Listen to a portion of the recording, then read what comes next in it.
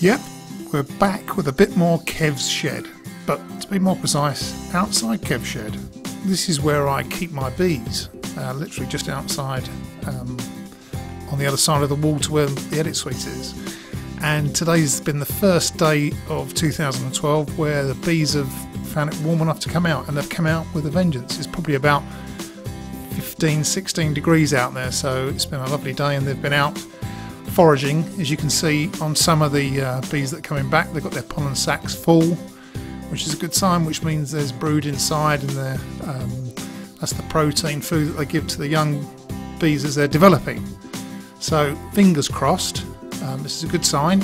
Um, it's what every beekeeper wants to see on the warm day of the year. And um, hopefully we'll have as much honey as we did last year, which was around about 200 pounds. So fingers crossed, 2012 is going to be a good year for honey. I'll keep you updated on the bees.